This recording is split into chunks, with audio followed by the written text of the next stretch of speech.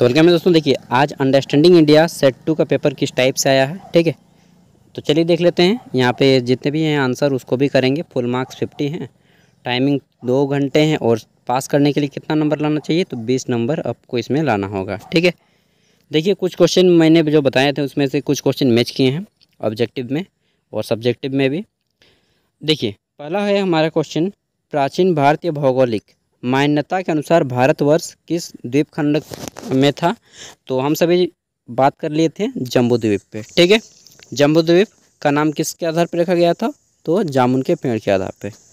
आगे देख लेते हैं हमारा दूसरा क्वेश्चन।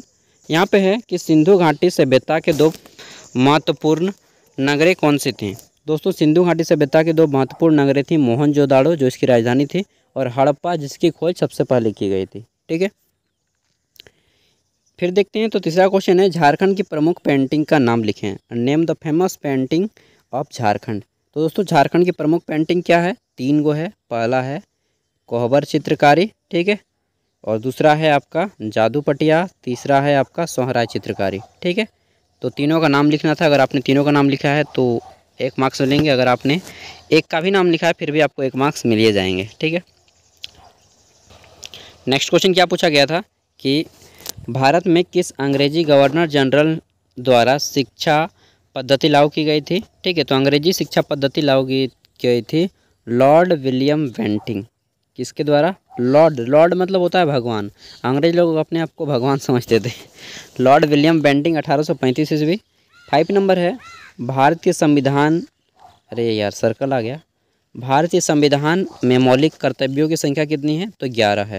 ठीक है जो इस टाइप से आंसर किए होंगे, उनके पाँच मार्क यहाँ से पक्के हो गए फिक्स हो गया, ठीक है? अब ग्रुप भी पंद्रह मार्क्स वाले हैं, जिसमें से किसी तीन का आंसर करना है। पहला है, भारत में जल प्रवाह प्रणाली का वर्णन करें। इंग्लिश में है कि describe the draining sorry drainage system in India तो भारत में जल प्रवाह प्रणाली, इसमें आपको नदी, नाले, समुद्र, ठीक है? ये तीन चीज़ों के बारे में बताने थे, और हिमखंड के बारे में अगर और भी बताना था तो हिमखंड के बारे में बता सकते थे। कुआँ झरना झील ये जितने भी हैं सब के बारे में। आगे देख लेते हैं यहाँ पे आता है हमारा भारत के प्रमुख नृत्य व संगीत पर चर्चा करना था ठीक है?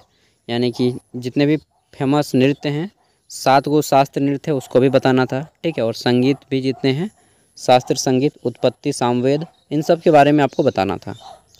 आगे देख लेते हैं तो ये दोनों क्वेश्चन टफ है अग, मतलब टफ नहीं है बट थोड़ा सा हार्ड है। चौथा क्वेश्चन देख लेते हैं। भारत में शिक्षा प्रणाली का विस्तार से वर्णन करें।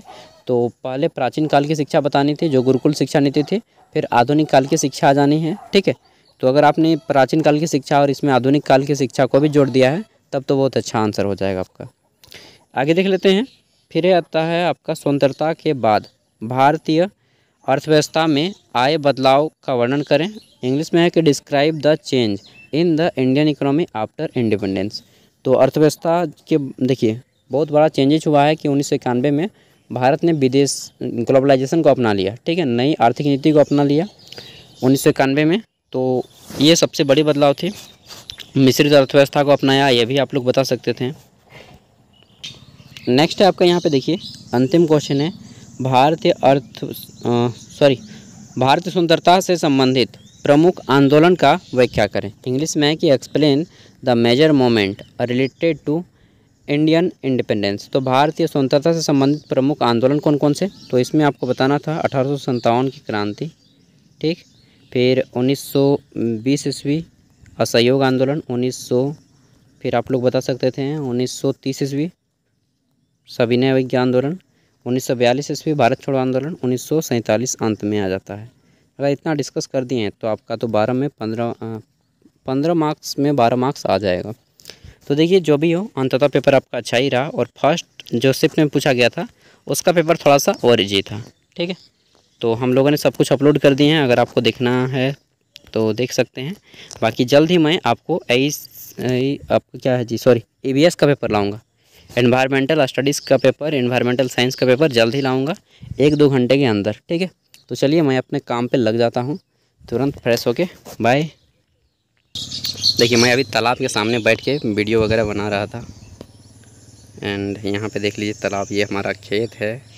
और मैं यहाँ पे रहता हूँ। ये जो घर देख रहे हैं ना, सिंगल अकेला है, बस। यहीं पे इधर कोई नहीं है, आमने सामने कुछ भी। पूरा आपको पर्वत वगैरह दिख रहा होगा। चलिए, जो भी है। अच्छा है।